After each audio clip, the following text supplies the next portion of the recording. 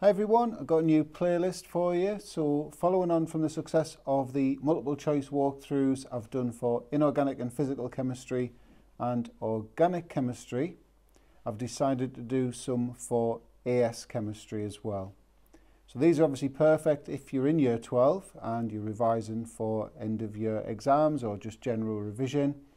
They're still great if you're in year 13 because you still need to know all of this stuff.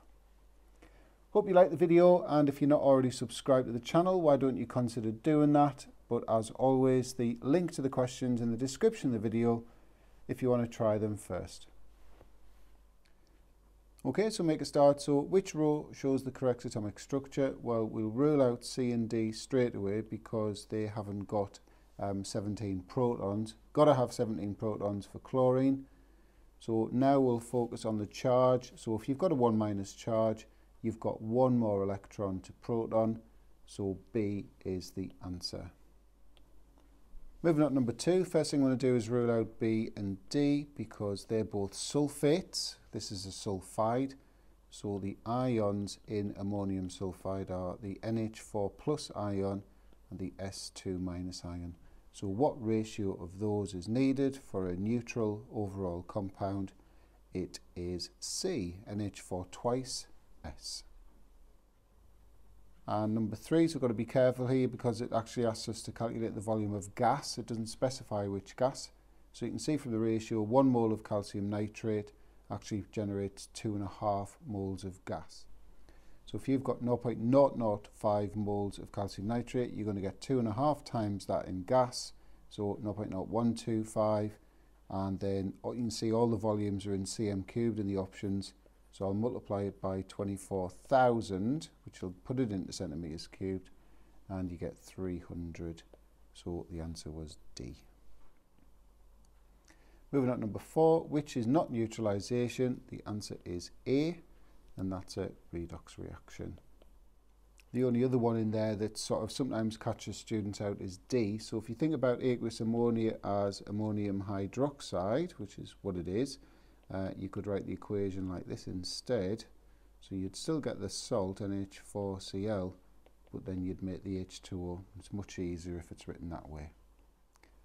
Number five, the oxidation number of nitrogen in MgNO3 twice. So I've highlighted that nitrate ion because that's all we need to think about. So NO3 with a 1 minus charge, three oxygens, minus 2 each. So there's minus 6 charge coming from the three oxygens. So to leave that 1 minus charge, nitrogen needs to be plus 5, so C. Moving on to number 6, so how many orbitals are occupied in a silicon atom? So you'll notice I've already written out the electron configuration for silicon. So if we think about how many orbitals there are in each subshell, so in any S um, subshell there's one orbital. Moving on to the P subshell, so there's three occupied orbitals in that 2p6 part, and then if we think about the 3p2, so let's visualize the electrons in boxes, they're arranged like that. So there's actually two orbitals occupied there. So that's a total of eight, so the answer was C. Number seven, so I've already highlighted the electron regions around the nitrogen. So we've got a total of four, one lone pair, three bonding regions. So we can rule out D straight away. Uh, won't be trigonal planar because that's what you get with three bonding regions only. It's definitely not tetrahedral because that's with four bonding regions only. So we're down to A and B, the two pyramidal shapes. So you've got four regions, so your starting angle is 109.5, but that one lone pair, you knock off two and a half degrees from the angle. So you go to 107, so the answer was B. Moving on to number eight, so graphene is just a single layer of graphite. So I've highlighted this carbon here. So what would be the shape around that carbon atom? You can see there are three bonds, three bonding regions. Um, the fourth electron's delocalized around the structure, so it's good conductor electricity because of that graphene. But anyway, the shape is trigonal planar, so D was the answer. Number nine, so the first thing I'm going to do is rule out D because that's got three shells. So it's going to be either A, B or C. These are all in period two. So what's the trend in a period? generally the first ionisation energy increases as you go across the period, so it's going to be the one furthest to the right, so it's C. Number 10 got this table of successive ionisation energies and we're asked which one is for magnesium. So just remember magnesium's in group 2 so its big jump up in ionisation energy is going to be between the second and the third because you're breaking into a new shell closer to the nucleus. So where's that big jump? It's there, so B is the answer. Moving on to number 11, so we've got these two test tubes and one of them's got sodium carbonate in. We're only interested in the carbonate ion in that one. The other one's got silver nitrate in and we're only interested in the silver ions in that one. So they're adding sulfuric acid to both test tubes. So they're adding H plus ions and sulfate ions. So what would you expect to see? First test tube, the H plus ions are going to react with those carbonate ions and make CO2. So you're definitely going to see effervescence or fizzing. So that means we can rule out A and B. Second test tube, the sulfate ions will react with the silver ions and form a precipitate of silver sulfate. So D was the answer. Number 12, so you can see I've highlighted combustion, delta HC. So when you're calculating an enthalpy change from combustion values, it's reactants minus products. The sum of the enthalpy changes of combustion of the reactants minus the sum of the enthalpy changes of combustion of the products. So there's all the numbers and when you put them in your calculator you should get minus 129 which is option B. Number 13, so just a reminder there of the definition for structural isomers. They've got the same molecular formula but different structural formula. So the first thing we can do is rule out F because that's got an extra carbon. And the other thing we can do is rule out H because that's got um, a CC double bond, so it'll have fewer hydrogens.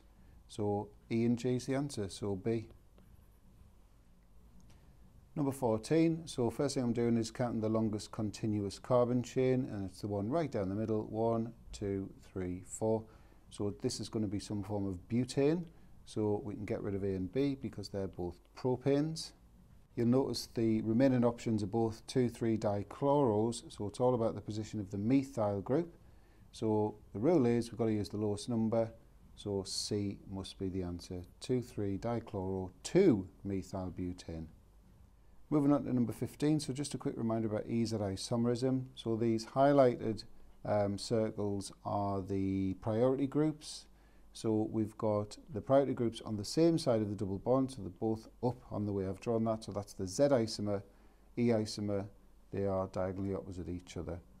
So um, non-polar molecules could never be Z because you've got this imbalance of the electron density both sort of push going in that direction. So we'll cross out the two Z options. So that leaves us with A and B. So I've just drawn up the structures there. So you can see A, we've not got symmetry in A because of this group here. So you can see this, this one here is symmetrical, so this one will be the non-polar one. So B was the answer.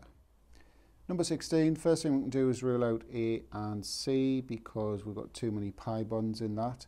If you've got two carbon-carbon double bonds, you've got two pi bonds. Next thing I've done is highlighted the sigma bonds. So in the carbon-carbon double bond, as well as the pi bond, you've got one sigma bond. So the total of sigma bonds in this molecule is 12. So the answer was D. Number 17, which equation shows a propagation step in the mechanism? So A is wrong because that's an initiation step. B is wrong, that's a termination step.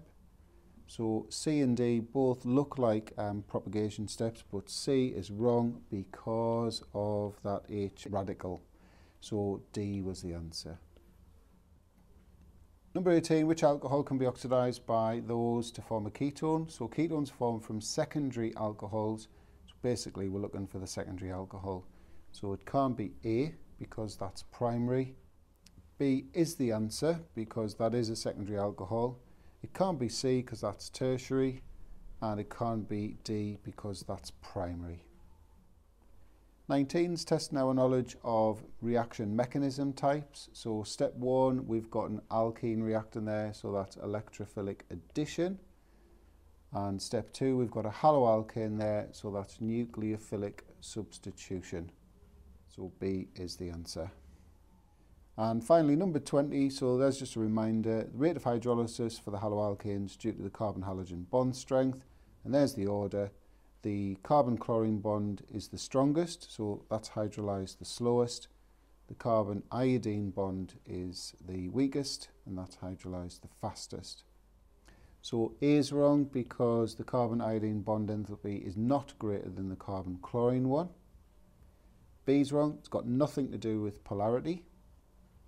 C is wrong because it's got nothing to do with greater delta positive charge. So D must be the right answer. CI bond requires less energy to break than CCl. Yes, of course.